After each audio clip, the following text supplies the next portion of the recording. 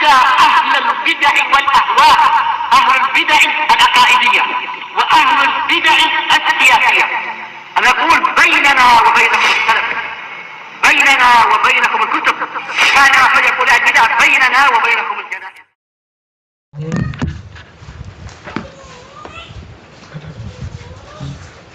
Eh, kita sampai nomor ke berapa? Nomor ke-6 sekarang ya. Asadis hukum yang keenam dari hadis ini al hikmah fi raddihi alla yaqa'a fi salatihi khalal.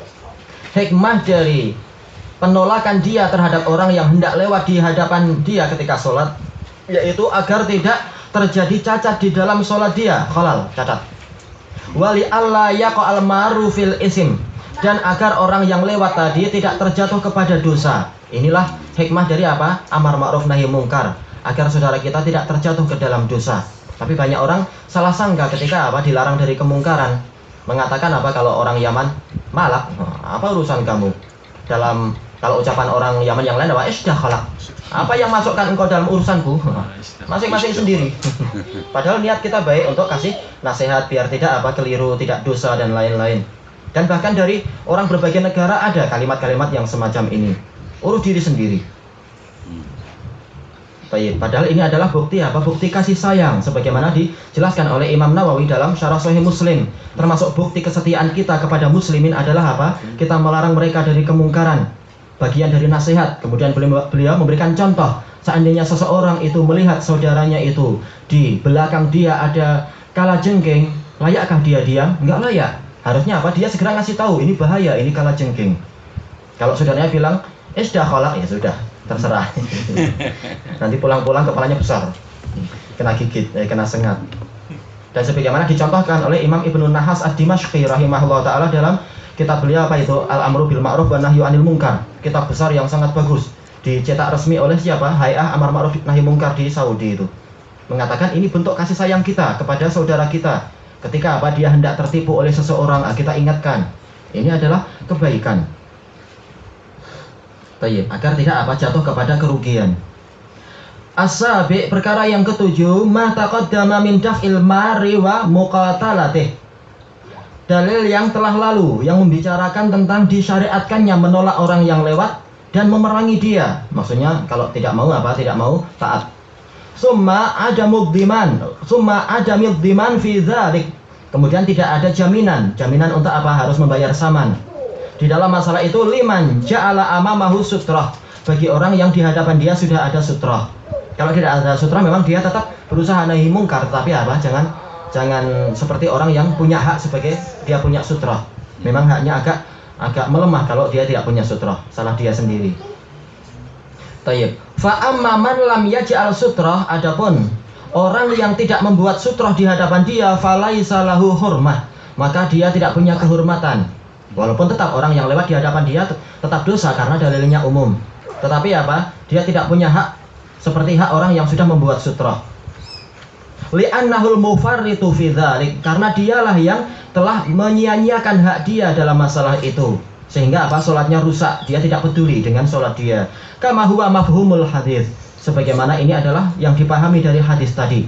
Seperti apa masalah sariqah Kapan pencurian itu dikatakan pencurian, yaitu mengambil barang dikatakan pencurian? Kalau barang itu adalah fihirs, yaitu di dalam tempat penyimpanan. Adapun kalau cincin tadi adalah orang ini memang sengaja meletakkan di di luar rumah di depan pintu dia. Nah, ini kalau ada orang mengambil barang dia, namanya bukan sariqah. Sehingga apa? Para ulama mengatakan tidak layak tangannya dipotong. Kenapa? Karena yang salah adalah orang yang itu sendiri, orang yang meletakkan cincin tadi di depan rumah dia. Kalau dia mengatakan saya tidak sengaja ini jatuh, maka kita katakan yang mengambilnya tadi dia bukan pencuri, tetapi sekedar apa? Dia wajib untuk mengembalikan. Bukan berarti hak orang yang barangnya hilang tadi haknya batal, bukan. Tetapi tidak sampai menyebabkan tangan orang yang mengambil tadi terpotong. Karena apa? Boleh jadi orangnya mengira, oh ini luka toh, yaitu barang temuan dan semacam itu. Maka beda antara apa pencurian dengan yang bukan pencurian. Membedakannya kata para fuqaha adalah apakah dia itu di dalam hirs ataukah tidak. Di dalam apa tempat penyimpanan ataukah tidak. Maka kalau dicontohkan kalau ada orang di masjid kemudian apa dia tidur tiduran atau dia sholat poket dia diletakkan di samping kemudian ada orang mengambil tidak boleh tangan orang ini dipotong Kenapa? Karena orang ini yang yang dia itu mufarid, dia yang menyanyiakan hak dia sendiri, si pemilik poketnya. Kecuali kalau sudah di dalam apa saku kemudian tangannya masuk, ah itu boleh dipotong tangan dia. Kalau memang barangnya itu mencapai apa rubuk dinar, seperempat dinar. Terus kalau memang orang ini niatnya mencuri atau niatnya mencopet, ikhtilas, lalu apakah dia tinggal dimaafkan saja? Bukan, tapi dia ditakzir. Yaitu apa? Dihukum sesuai dengan sesuai dengan ijtihad pemerintah boleh jadi kena sebat atau boleh jadi jadi bantuan sementara dan sebagainya tapi tidak sampai tangannya dipotong. Kalau barang yang diambil itu bukan di dalam hirs bukan di dalam tempat penyimpanan yang makruf. Tayyib. Kemudian kita lanjutkan. As-samin yang kedelapan anna mudafa'ata kulli so'il takunu bil ashali fal ashal. Bahwasanya menolak setiap pelaku durjana, pelaku jinayat, soil yang mendolimi orang lain itu harus dengan apa cara yang paling mudah, kemudian yang paling mudah berikutnya.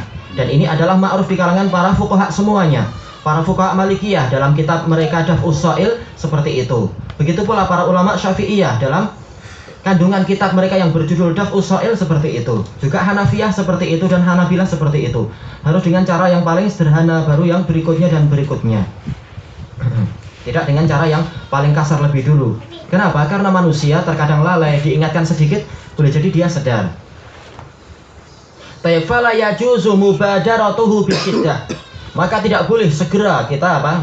menyegerakan menolak dia dengan cara yang keras. Langsung dihantam. Wah, itu nggak boleh. Cukup di, dikasih isyarat dulu atau dengan cara yang yang lebih baik. Hatta tanfuda hatta tanfada wasailul lin sampai habislah metode-metode yang lembut. Hmm. Nah, baru memakai cara yang agak keras sedikit. Mungkin kita pegang telinganya, nah, tarik sedikit misalkan.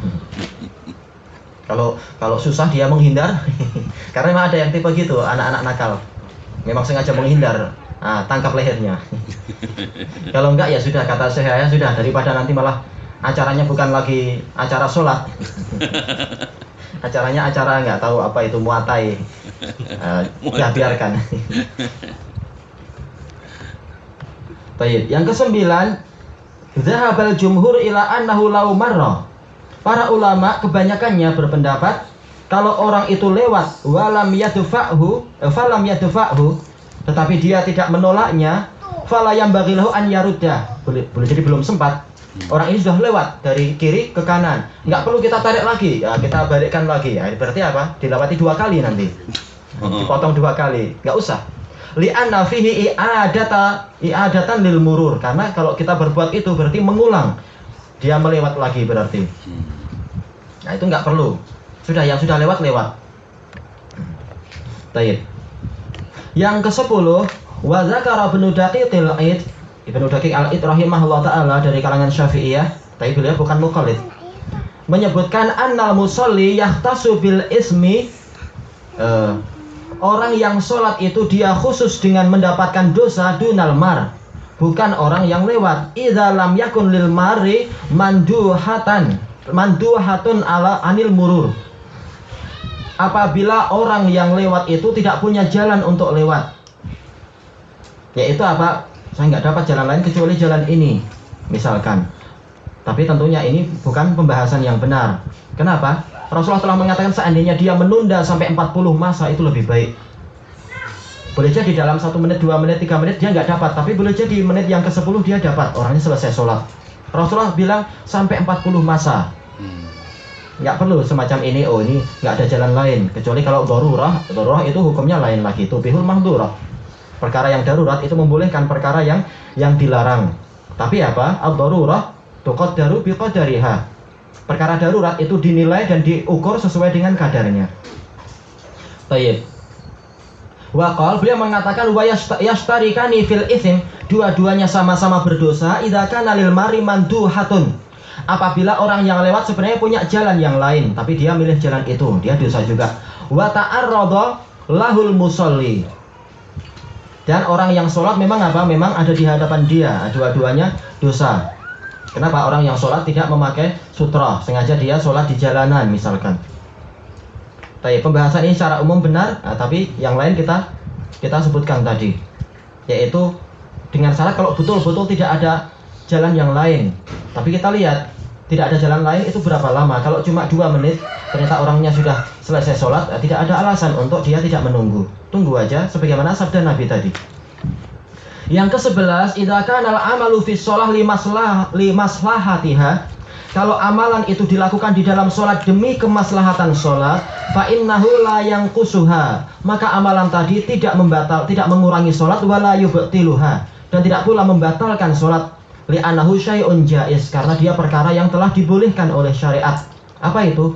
Menolak dengan cara yang halus. Kalau orangnya ngulang lagi gimana? Colak tolak dengan cara yang lebih keras.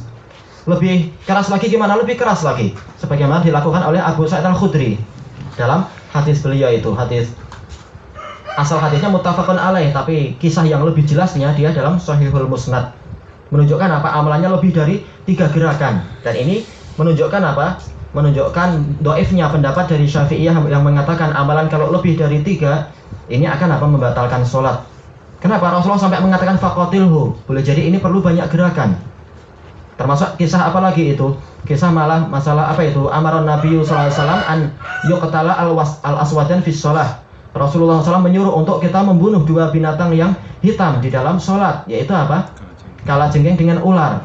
Boleh jadi ini perlu apa? Lebih banyak gerakan. Ular menghindar lari dan menyerang. Nah ini perlu banyak gerakan menunjukkan bahwasanya kalau ini demi kemaslahatan sholat atau kemaslahatan musalli itu dimaafkan. Walaupun lebih dari tiga gerakan.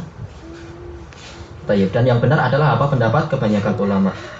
Ilahuna subhanakallahumma wa bihamdika la ilaha illa anta astaghfiruka wa atubu ilaik. Alhamdulillahirabbil alamin. Jazakallahu khairan. Kita jadikan ini sebagai sutra boleh tak?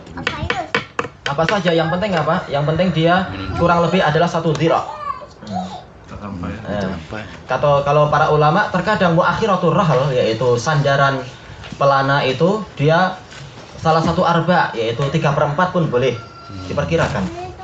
Ayo.